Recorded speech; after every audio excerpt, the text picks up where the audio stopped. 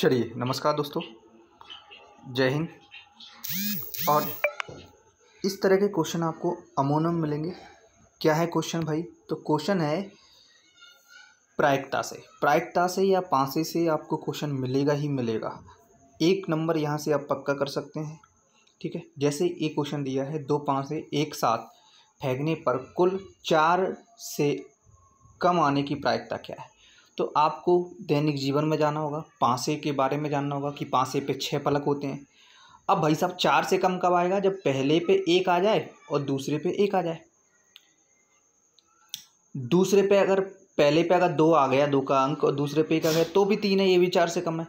और एक उसका उल्टा हो सकता है कि दूसरे पे दो आ जाए, पहले पे एक आ जाए, ठीक है? यानी तीन कंडीशन टोटल बन सकती हैं। अब हम ये भी जान लेते हैं कि टोटल कंडीशन होंगी कितनी, अगर दो पाँच से फेंकेंगे तो। जब भी दो पाँच से फेंका जाए तो दो पावर लगा दो, क्योंकि छः पलक पे दो पावर, ठीक है? यानी कितनी टोटल कंडीशन छत्तीस। हम जानते हैं, अगर किसी के तीन बार, तीन प्रायिकता है, तीन आ रहे हैं छत्तीस में से तो इसकी प्रायिकता क्या हो जाएगी? एक बटे बारह हो जाएगी। यही आपका आंसर होगा आंसर नंबर टू ठीक है? समझ पाए? कोई दिक्कत तो नहीं है। मतलब आने की प्रायिकता, आने की प्रायिकता बटे कुल संख्या, आने की संख्या बटे कुल संख्या।